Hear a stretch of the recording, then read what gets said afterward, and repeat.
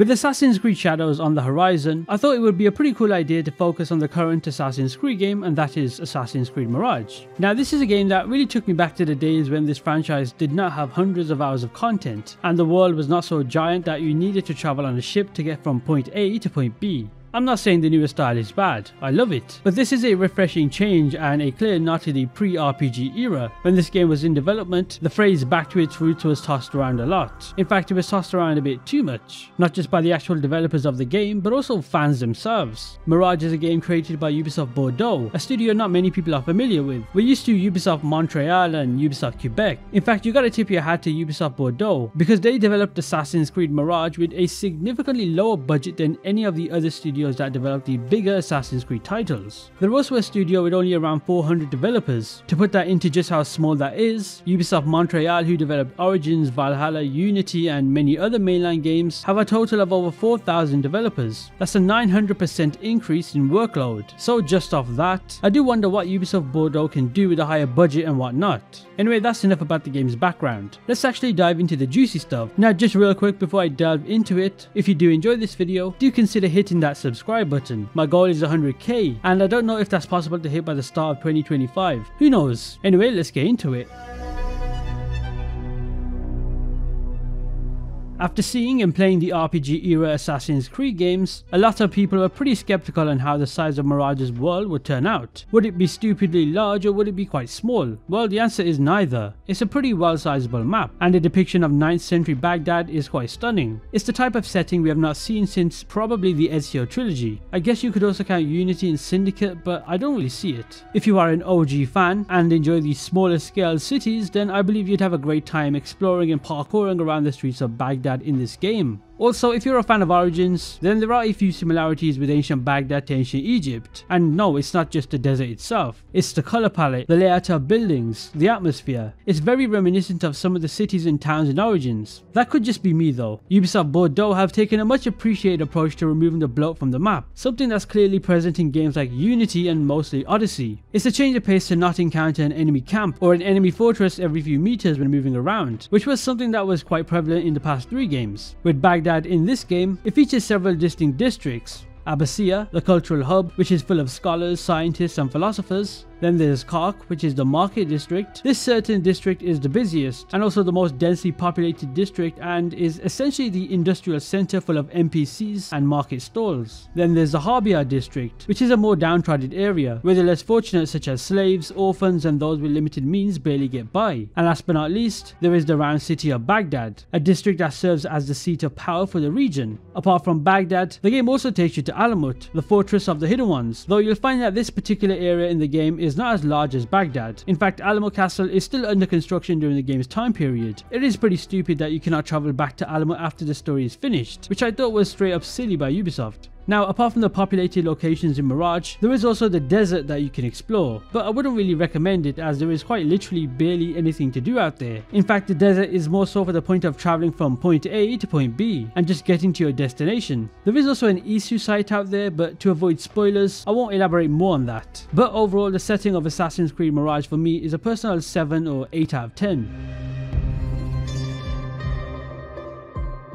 When it comes to the story of Assassin's Creed Mirage, I'll go over it without spoiling anything. So essentially you play as Basim ibn Ishaq, a character that has a very mysterious past and an important role in the Assassin's Creed universe. We get to witness Basim's transformation from a street thief to a master assassin. The story pretty much dives into his personal struggles and also his journey for answers about his past. Will become an assassin and essentially attempt to free 9th century Baghdad by eliminating a hierarchy of progressively more evil enemies, all in the middle of some pretty important political turmoil. You know, it's got the typical Order of Ancients slash Templar stuff. This is pretty much the plot of most Assassin's Creed games. If I'm being honest, the story is not anything to write home about. It's not a story that I'll remember in 10 years time. The same way I remember the entirety of Ezio's story from his trilogy, or even Edward Kenway's. If anything, it's far from those stories. It was a tale that did its job. Choosing Basim as a protagonist is a bit of a tricky one, especially when trying to write a story. Basim showed up as a pretty important character in Assassin's Creed Valhalla, and the fact that this game kind of serves as a sequel or a prequel, depending on how how you look at it meant it had to stand on its own. I won't say anything about Assassin's Creed Valhalla's story as I would spoil it, but Basim as a character is a pretty decent one. Would I want a follow up for his character? Absolutely not. He's a 6 out of 10 or a 7 out of 10 character, but that's purely my opinion. I can respect that Basim as a character is very dedicated to Creed, and that's what Assassin's Creed is all about. Also, the fact that Mirage takes place in a smaller scale map such as Baghdad helps the plot quite a bit, since the story quests are all confined to one single city. Oh, and if you're wondering if this game featured anything animus or modern day related, the answer to that is no. In fact, this game just abandoned it entirely for some reason. Although there was a piece of cut content related to the modern day, so make of that what you will. In terms of side characters, to put it as honestly as possible, they were very forgettable, except for Roshan. But other than her, the rest of them have no interesting backstory, they have no personality, and there's no engaging story to them. They're just there to fill in the blanks. So overall, the story could have been better, but it did a decent job at what it wanted to be. If you wanted a very, and I mean very standard Assassin's Creed story, then this is it. Also, if you have not played Valhalla, I do recommend playing that just so you can make Mirage's story a bit more manageable.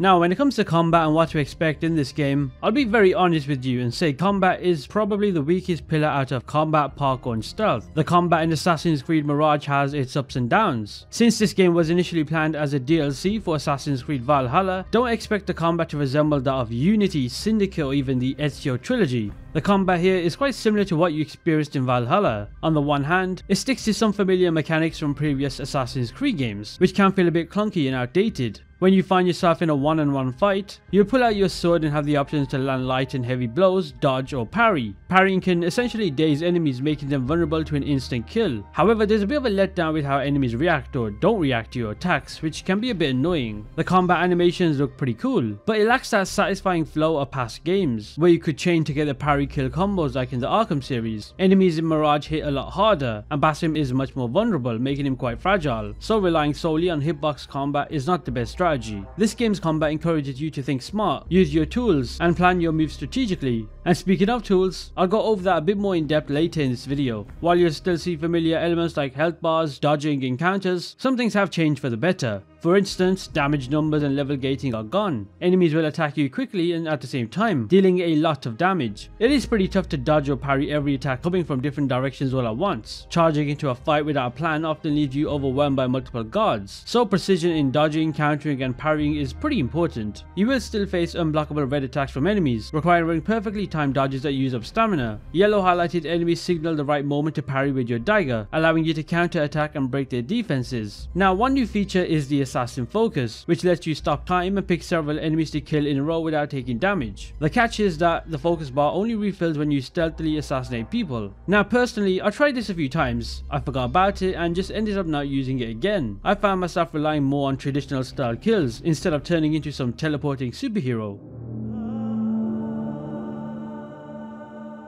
And that brings me on to stealth. Now stealth in this game is in my opinion the strongest pillar out of combat, stealth and parkour, and by far as well. I didn't really expect the Once Valhalla DLC turned mainline game to have one of the best stealth systems in the entire franchise, so credit to Ubisoft Bordeaux for that. Now sure, the stealth is definitely not on the level of a game like Splinter Cell or Dishonored. Those are games that I class at the pinnacle of what stealth is meant to be, but it's still great regardless. What really stands out in Mirage is the return of social stealth, blending into crowds and using them to move undetected to your objective brings a whole new dimension to the gameplay. Now right from the beginning of the game, Basim can hide in grass, bushes and haystacks, taking down enemies quietly one by one. He can also whistle to distract them, and use throwing knives for swift eliminations. As we progress throughout the game, we're able to expand the options for Basim. Certain skills allow him to chain assassinations, and the assassin's focus ability lets him take out small groups of guards pretty quickly. But as I said earlier, this ability was not exactly something I would use that often. Additionally, other skills unlock more tools like smoke bombs and darts, which can be upgraded to provide even more versatility in your stealth approach. This game also featured the ability to pickpocket random civilians and NPCs, something we haven't seen for a while in this franchise. You know, I think the last time we saw this was one of the Ezio games if I'm not mistaken. So how it works is you'd approach a random random person from behind and a quick time event will occur. Timing here is very important and if you're playing this game on the normal difficulty or lower, then this is not really a challenge at all. In fact, it's quite hard to fail. But let's say you were playing on the hardest difficulty. The timing window to successfully pickpocket is much less apparent. There are also plenty of other stealth options available in the game. You can hire random groups of people to create distractions. There are more hiding spots such as gazebos. And if you time your attacks correctly, you can take out enemies in plain sight honestly without drawing any attention to Basim. It's a stealth system that really gives me the classic Brotherhood or Unity vibe, but I would even say some aspects are improved on from those games. You can execute perfectly timed assassinations from haystacks or behind cover and move the body back to where you are. You can jump down from buildings onto enemies, assassinate enemies over walls from behind, and use all the tools you need to escape such as smoke bombs. And speaking of tools, Basim has a variety of them at his disposal to aid in his stealth endeavors. Starting with the basics, there's a torch, which is pretty straightforward but essential. The blow dart is a silent projectile that can instantly incapacitate targets, perfect for quiet takedowns or long range attacks. You're also able to upgrade it to apply poison or induce a fit of rage, making it even more versatile. The smoke bomb is of course a tool, but this time deploying red smoke instead of white. It can be used both defensively and offensively, helping you cover your tracks or confuse your enemies. The throwing knife is a versatile tool for accurate long distance eliminations, and can be visually upgraded with better materials or alchemical properties for added lethality. The noisemaker is incredibly useful for drawing enemies to a specific location, diverting their attention away from you. And lastly, there's the trap, which is a small proximity explosive that can be upgraded to release poisonous gas, eliminating any enemies within its radius. I do believe this is also the first time placeable traps have appeared in the Assassin's Creed series. What's great is that all of these tools can be upgraded throughout your Assassin Bureau, allowing for much better customization in your stealth abilities.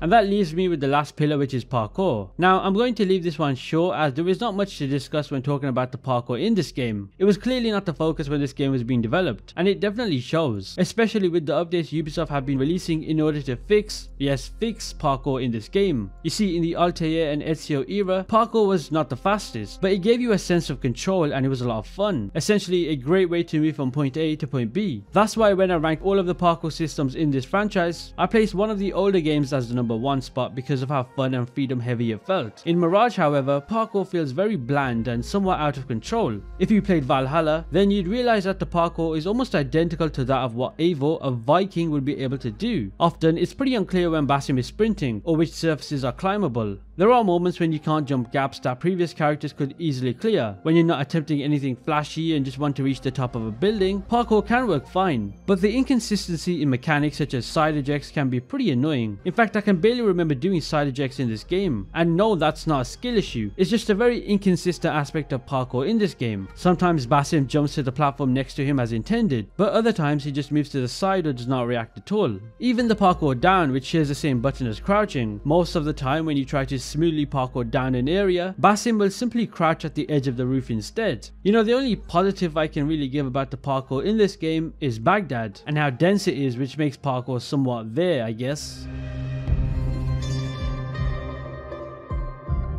The customization that is presented to you in Assassin's Creed Mirage is more on the simple level. Since this game is not an RPG game, the inventory, gear customization and overall menus are a lot more simplified. When it comes to your gear, you have your outfits. There are quite a decent amount to collect in the game, and each one not only looks unique but also provides specific perks. For instance, the Initiate of Alamut outfit makes assassinations quieter, while the Hidden One's outfit boosts your focus. The costume section relates to your appearance and are purely cosmetic. These costumes alter your look without impacting the perks of your current outfit. My personal favorite is the white patient robe. It's a costume that doesn't relate to an assassin but it's so clean. The outfit dye is as the name suggests. You can dye your outfits. However, these dyes are locked to certain outfits with each dye you get only being available for a certain outfit you choose. The talismans are purely cosmetic items that you can find in the game and they don't have any impact on Basim's abilities. The sword is of course your sword. It's your main hand weapon and it's what you deal damage with. Daggers however are a unique weapon type in Assassin's Creed Mirage. These small blades are perfect for slicing through enemies and offer unique perks for Basim. They do deal less damage than swords, but the advantage is that they are highly efficient and ideal for faster combat styles. The skill tree is very simplified and is split into three sections, Phantom, Trickster and Predator. Phantom is all about Basim's assassin skills, with abilities like Breakfall to help him land safely and Chain Assassination to quickly take down a second enemy right after the first, whether whether in close combat or with throwing knives. Trickster focuses on improving Basim's tool use, giving you perks like automatic looting, an extra tool slot, and better pickpocketing abilities. Predator improves Basim's perception and sight through his eagle companion Enkidu, opening up more opportunities when you see the world through Enkidu's eyes. Oh, and there is a handy feature that lets you reset all of your skills, so you can try new abilities without being stuck with your old choices.